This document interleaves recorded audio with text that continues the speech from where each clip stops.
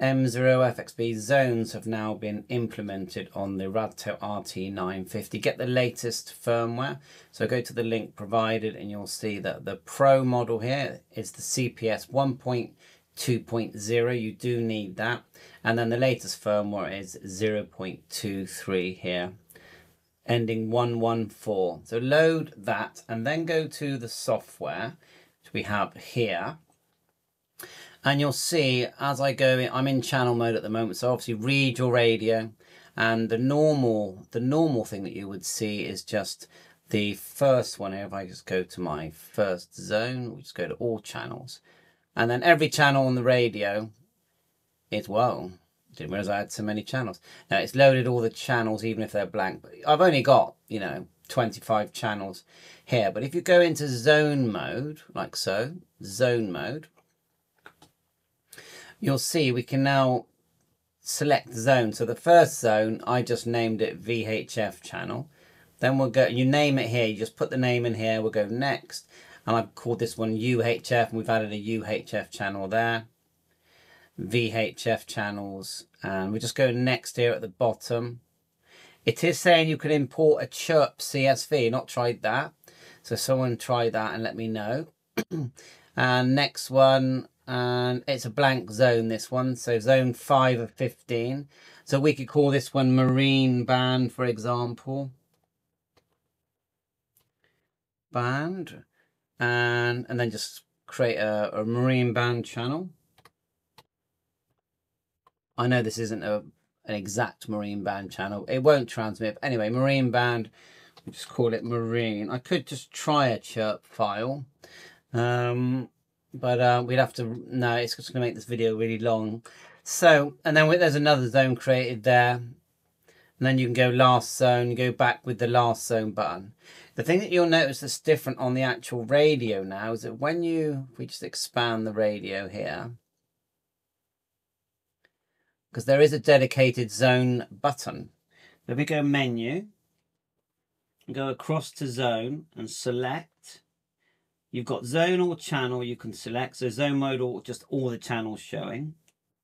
Or you can go down one to zone select. And all the names that I've been putting in, including, I haven't written to the radio yet. So notice now, these are the ones that were in before. If I just quickly write to the radio, uh, just click write. Of course, select your COM port. Just here. So you're selecting let me just show you again. Settings, serial port, COM12, click OK, and then we write to the radio. And of course, save this file. See it writing. And the you know the new, I love the new firmware because it's added um, signal meters to the spectrum. I might show you to the spectrum and the HF mode. So that's success there. So we just go complete.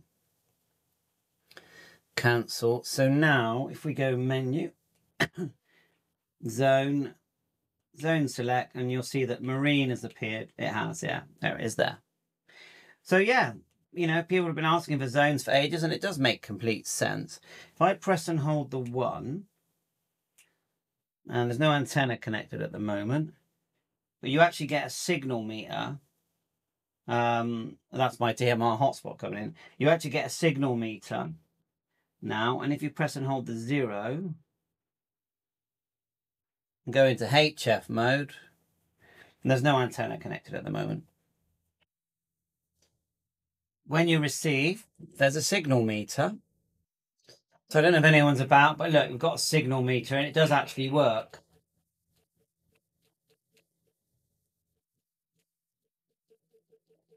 No one about. Let's just go 7074 menu. Just go to.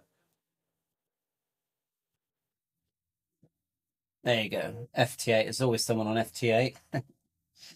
so I think it's fantastic radio. Myself, one of the best. I can't think of one at this price level, around the £60, that does airband, VHF, UHF, CB bands, HF bands, um, now has zones. Um, Bluetooth, GPS, Bluetooth programming. It just goes on and on and on. Anyone that's sent theirs back because there's bugs in it, your loss. Anyway, please uh, hit the like and subscribe. 7-3, all the best.